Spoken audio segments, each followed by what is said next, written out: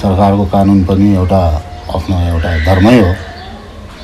त्यो धर्म त मान्नै पऱ्यो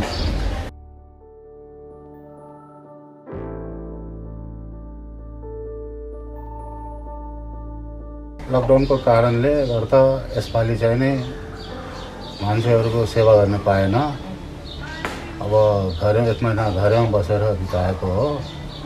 काश्मीर मस्जिदमा भए भयो भने तिन सय चार सयजनालाई पकाएर खुवाउँथेँ टाइम पनि राम्रो पास हुन्थ्यो। अनि अब पुण्यको काम पनि हो।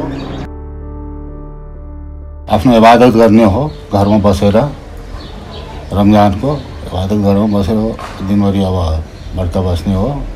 बेलुका टाइम भएपछि खाने हो।